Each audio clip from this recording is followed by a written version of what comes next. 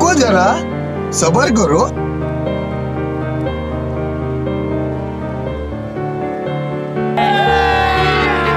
अभी मज़ा आएगा ना भिड़ो।